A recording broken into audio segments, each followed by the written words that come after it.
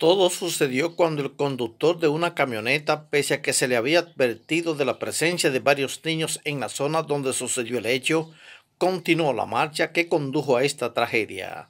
Al momento de suceder el hecho, el infante estaba en compañía de su hermano también menor de edad, quien recibió golpes en distintas partes de su cuerpo.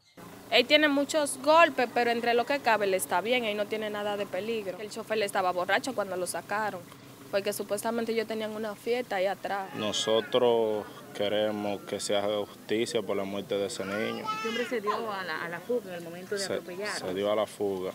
Él no se paró, él pudo entonces haberlo matado a los dos, porque eh, al, al tumbarlo, según cuenta el niño, él pudo haberle pasado por arriba también a esa criatura. También la policía reportó otros hechos trágicos en Santiago, como fue la muerte a tiros de un oficial de la Armada Dominicana y de un supuesto asaltante en el reparto Peralta de esta ciudad.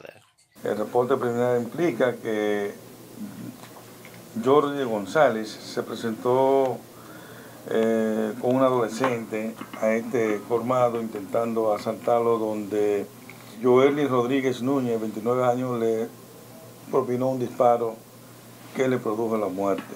En el caso del conductor que provocó la tragedia en Cienfuegos, las autoridades le piden para que se entregue de la manera que considere conveniente. Esta situación se viene dando en Santiago, además del anuncio hecho por el gobierno de implementar un nuevo programa de seguridad ciudadana, lo que mantiene también preocupado a los residentes de esta zona. En Santiago, Luis Manuel Báez, Noticias SIN.